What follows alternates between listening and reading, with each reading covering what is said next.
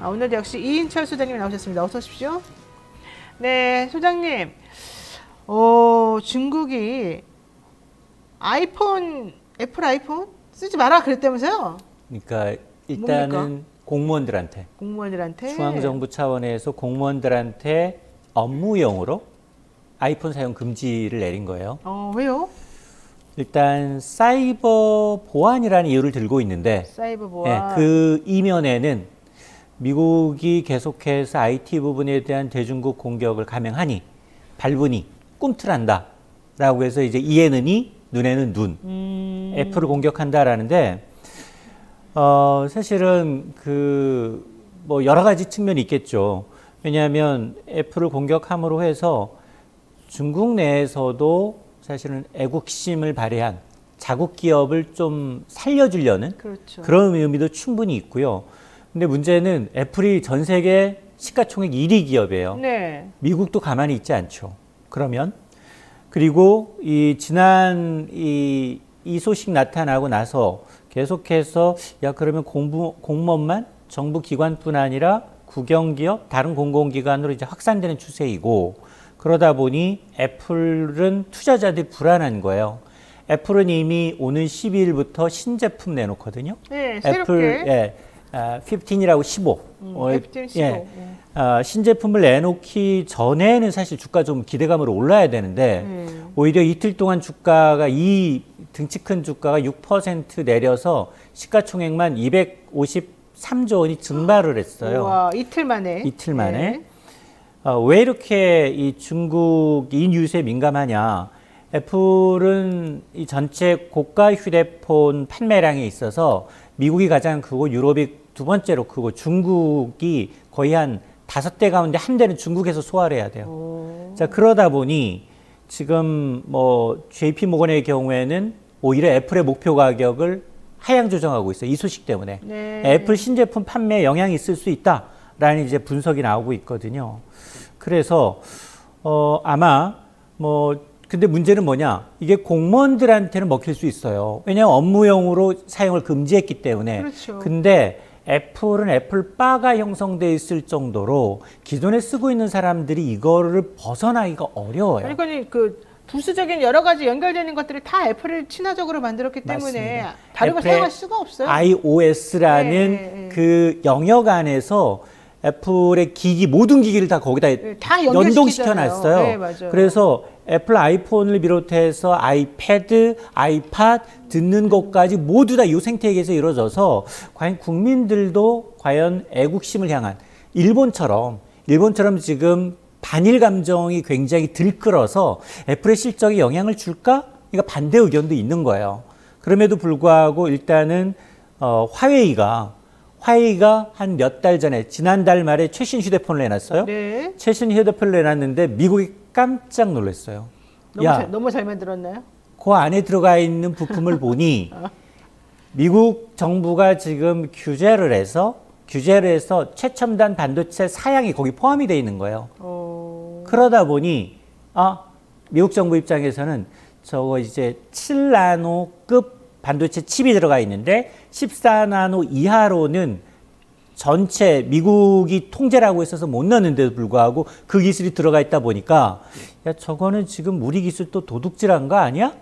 이 부분을 들여다보겠다는 거예요. 음. 그렇군요. 예. 그러니까 어, 사실은 뭐 이 싸움의 원조는 사실 미국이 네. 먼저 걸었죠. 네. 미국이 이제 걸었음에도 불구하고 중국이 발끈해서 아이폰을 치자 다시 이제 미국은 자 그렇다면 실제로 지금까지는 최첨단 사양에 대해서만 미국의 이제 자사 기술이 들어가 있는 반도체 장비라든가 반도체 칩을 수출하지 못하도록 했지만 이제는 범용 장비, 범용 장비라고 하면 어, 일반적인 이제 굉장히 값싸게 만들 수 있는 반도체로서 TV에 들어가거나 PC에 들어가거나 일반 전자제품에 들어가고 있는 반도체 칩까지 이거 중국의 수출을 막아야 되는 게 아니냐 이런 여론까지 형성이 되고 있는 거예요. 그러니까 어쨌든 지금 정리를 해보면 일단 뭐 아이폰 사용하지 말아라 라고 이제 공무원들에게 얘기를 했, 했습니다. 그래서 애플 시가총액이 이틀 만에 어, 230조 정도 없어져 버렸어요. 증발해 버렸어요. 근데 조만간 이 아이폰 15이 나올 거기 때문에 기대했었으나 주가가 좀 떨어질 것으로 예상이 되고 결국 타격이 있을 수 있겠다. 근데 그렇게 되면 애플에 우리 또 부품을 집어넣는 우리나라 기업들이 또 좀 위험해질 수 있다. 그리고 이게 지금 중국하고 미국이라는 거대 공룡들의 서로 싸움이기 때문에 우리는 도대체 어떻게 줄을 서야 될지 암담한 상황이다. 이제 이런 얘기인데 제가 걱정했던 것은 저희 아이들도 그렇고 청소년들이나 젊은 층에서 아이폰 사용하는 것을 너무 당연히 여기는 거예요. 그러면서 되게 비싸잖아요. 아이폰 한번 쓰면은 못 바꾸더라고요. 빠져나올 수가 그리고 없어요. 빠져나올 수가 없고 중요한 게 아까 말씀하신 것처럼 다 연동되니까 그냥 점점 점점 그 환경 속으로 쏙 들어가 버리는 거예요. 앱- 그렇게 되면 우리나라 삼성이 우리나라 지금 사실 삼성도 그렇고 LG 이제 핸드폰 이제 안 만든다 그러니까 이게 세계적으로 경쟁할 수 있는 상황이 안 돼 버리는. 거예요. 맞아요. 그런데다가 화웨이까지 이렇게 지금 날라다니고 있, 잖아요 그럼 우리나라는 경제가 어떻게 됩니까 이렇게 되면? 어, 앞으로 일단은 점점 나빠질 텐데. 물론 뭐 애플도 마찬가지고 애플은 고가 전략이고 이제 신제품이 나올수록 가격은 더 올라가요. 네. 그럼에도 불구하고 계속해서 1등 자리, 세계 1등 자리를 고가 분야에서 1등 자리를 차지할 수 있는 얘가 그 생태계를 구축해서 그 생태계 안에서 매출이 일어나도록 해요. 그래서 애플이 신제품을 팔아서 넣- 얻는 이득보다도 그렇지. 그 안에서 애플의 OS 안에서 다운로드 받고 그렇죠. 뭐 이렇게 여러 가지 이 어플리케이션을 통한 그리고 이제 다운로드를 통한 그게 더 매, 매출이 더 커졌고 맞아요. 지난번에도 얘기했습니다만 애플 페이라든가 네. 계속해서 부가 서비스를 내놓고 있어요. 거의 맞아요. 은행급이에요. 네. 그러니까 애플이 IT 기기면서도 전 산업에 대한 생태계를 다 이제 좌지우지하다 보니까 어. 전 세계 시가총액 1위 기업인데 앞서 애플을 때렸는데 왜 애플 주가만 내려가면 되는데 SK 하이닉스가? 예. SK 하이닉스가 된소리를 맞았어요. 네. 미리 손들었어요. 미상무부에다가. 왜? 화웨이 신제품에 보니까 SK 하이닉스 디램이 들어가 있는 거야. 음. 야, 미국이 지금 첨단 제품에 대해서는 수출을 금지했는데 네. 아, 저희가 판 거 아니에요. 이실직고 한 거. 미국 상무부에다가. 아, 저희가 판 게 아니고요. 네. 라고 했음에도 불구하고 변명하고 있는 거예요. 물론 이미 그 규제 이전에 이제 중국 같은 경우는 신제품을 발매하기 위해서 미리 사뒀거나 네. 아니면 그럴 수 있거든요. 그럴 수 있음에도 불구하고 지금 애플 지금 이틀 동안 떨어지는 동안 SK 하이닉스도 주말에 5, 4% 가까이 떨어졌고요. 그다음에 LG 이노텍이라는 회사가 있는데 여기는 어, 아이폰 카메라 모듈을 독점 공급해요. 아. 전체 매출의 80%예요. 네. 주가 연중 최저치로 떨어졌어요. 아이고. 그러니까 어 애플을 때렸는데 우리 부품 업체들이 더, 더 곤욕을 치르고 있는 상황이고 마찬가지로 지금 계속해서 지금 만에 하나 범용 제품으로 범용 제품으로 더 이제 규제를 강화하게 되면 어, 중국에 있는 삼성과 SK 하이닉스 공장에서는 네. 중국의 반도체 칩을 팔 수가 없어요. 그러니까 지금 삼전도 난리예요, 이제. 네. 좀 올라갔는데 사더니 또 내려가려 그래요. 맞습니다. 그러다 보니까 이게 확전되면 확전돼 물론 이런 이제 이 G2 싸움 이면에는 계속해서 네. 물밑으로 협상을 하고 있어요. 뭐 뭐 미국의 이제 뭐 재무장관도 가고 상무장관도 가고 네. 협상을 하고 있는데 협상이 잘 될 이유가 없어요. 그렇죠. 예. 될게 이게 없죠. 지금 뭐 하- 하루 이틀 된 싸움이 아니기 때문에 네, 네. 누군가가 굴- 이제 굴복하지 않은 이상 안 되거든요. 네. 그러다 보니 지금 중국의 경우엔 여러 가지 그럼 미국이 가장 아파하는 아킬레스건이 뭐냐를 찾고 있는 거예요. 그래서 알겠습니다. 음. 애플을 따리, 때, 때리고 있는 거고 그러다 보니까 지금 위안화 약세니까 미국 국채가 엄청나게 팔고 있어요. 네. 근데 미국은 달러가 계속 강세야. 이걸 다 소화하고 있어요. 하여튼간 짜증납니다.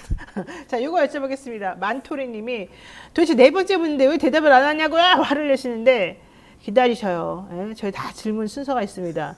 중국에서 요소수 수출을 중단했다는 소식이 전해집니다. 우리 지난번에 요소수 사태 때문에 엄청나게 한번 논란 경험이 있거든요. 근데 왜 또 요소수 수출을 또 왜 중단한다는 겁니까? 도대체가 맞습니다. 일단 요, 중단하는 건 맞잖아요. 요소수 네. 중단 수출 중단한 거 맞고요. 네. 어, 요소수가 우리 지난 2021년에 요소수 요소를 수입하는 네, 거예요. 요소를 수입하죠. 수입하는 네. 건데 요소가 쓰임새가 당- 다양해요. 우리가 가장 마- 많이 쓰는 것은 차량용, 차량용, 근데 농업 비료용, 비료용. 네. 그 다음에 이제 산업 이제 이 선박용도 있어요. 근데 선박용은 뒤로 하고 뭐 별 그렇게 크게 비중이 크지 않기 때문에 근데 지금 2년 전에 문제가 됐던 건 차량용이에요. 차량용. 예, 그렇죠. 보통 한 뭐 10리터 사는데 거의 뭐 몇만 원 정도면 샀는데 이게 중국이 자국 내 비료용 요소 부족하다. 수출 중단한다. 공식적으로 중단해 버렸기 때문에 음. 당시 10배 뛰었어요, 가격이. 사재기하고 굉장히 소재 다, 어, 부품 다변화하면서 이 발주처를 굉장히 늘리면서 이제 그렇죠. 극복을 했는데 그때 문재인 대통령 그때 있었을 때 막 다각도로 여러 가지로 사실은 방법을 좀 고안해내고 막 그때 고통을 받았던 경험이 있어요. 맞습니다. 근데 중국 요소수 가장 많이 수입하는 국가 꼽으라고 하면 인도가 1등, 한국이 중국산 2등, 아, 그다음에 호주가 3등이에요. 아. 근데 비료용은 네. 비료용은 지금 과거 2021년 중국산 비중 65%에서 네. 지금 17%로 낮아졌어요. 근데 문제는 차량용이에요. 차량용이 70%에서 지난해 66%였다가 네. 다시 90%에 육박해요. 아니 근데 우리나라 정부는 뭐라고 하는 줄 아십니까? 비료용은 괜찮아요. 재고분들 넉넉해요. 영향 받을 거 없어요. 이렇게 말해요. 우리가 지금 고- 궁금해하는 건 비료용인데 차량. 비료용이지만 차량인데 차량용이에요. 차량용은 재고 두 달 정도 갖고 없어요, 있어요. 이제? 60일 정도 네. 갖고 있습니다. 네. 차량용은 60일 정도 갖고 있고 중장비가 심각하대요, 특히. 그러니까 특히 이제 이 왜냐하면 어, 한 90%까지 됐다는 건 가격 경쟁력이에요. 결국은 음. 수입하는 기업들의 경우에는 가격 경쟁력이 낮아야지 이득이 남으니까 그렇죠. 계속 다 변화했어야 되는데 그걸 다시 중국 의존도가 더 심해진 거거든요. 네. 자 그러다 보니까 아마도 아마 이 차량용 요소수의 경우에는 네. 중국 어, 이외에 대체처를 조금 더 이제 확, 확보를 해야만 하는 상황입니다. 아니 게다가 이제 지금 추석 얼마 안 남았는데 지금 기름값 심상치가 않습니다. 저 경유 넣다가 죽는 줄 알았어요. 석 달 만에 지금 소비자 물가도 3%대로 반등을 했고요. 국제 유가가 또 연중 최고치를 지금 기록을 하고 있다는 겁니다. 이거 어떻게 봐야 됩니까? 맞습니다. 6월, 7월 이제 정부는 물가 상승률 2% 봤다라고 했는데 아, 8월에 3.4%로 뛰었어요. 나는 정부 얘기 중에 맞는 거 한 개도 못 봤어. 솔직히 말해서 그 정부가 뭐 한다, 뭐 예상한다, 할- 항상 그거를 뛰어넘는 항상 그런 식이더라고요. 근데 뛴 이유가 뭐냐? 예. 7월 중순부터 국제유가가 너무 많이 뛰었어요. 여기에다가 아마 농수산물이에요. 농수산물은 네. 전체 물가 비중 천을 기준으로 했을 때 음. 과, 과일류는 18가지인데 네. 농수산물 비용은 42예요. 엄청 미미한데도 불구하고 너무 많이 뛰니까 물가가 뛴 거예요. 그렇구나. 예. 1, 1위가 지금 사과. 네. 사과가 1년 전에 비해서 30% 사실은 두세 배 올랐거든요. 네. 그 다음에 이제 복숭아가 23%, 그 다음에 수입 쇠고기, 이른바 이제 야채 가격은 좀 내렸어요. 네. 제가 누누이 강조합니다만, 아, 과일은 1년에 한 번 수확해서 내년 신제품 나올 때까지 저장했다 먹어야 되는 거거든요. 그렇죠. 근데 지금 아마 사과 사러 가보시면 아시겠지만, 한 상자당 만 원꼴로 일주일 단위로 올라요. 그럴 수가 있어요? 네. 사과 안 드세요? 그럴 수가 있어요. 쇼핑 안 하는 것처럼 아니 하루에 사- 하나는 먹어줘야 돼요. 60대, 50대는. 저는 사실은 이렇게 선물 들어오는 것들이 조금 있어가지고 그런 걸로 과일을 좀 연명하는 경우가 있었었어요. 예전에. 제가 제일 저기 예전에 그 예전에 제가 제일로 부러워하는 곳이 명절 앞두고 국회의원 의원 회관 앞이에요. 거긴 선물이 쌓여 있습니다. 예전에 그거는 예. 카메라가 잘 못 찍게 해요. 아, 국회의원들. 제발 좀 그거 좀 기부 좀 합시다.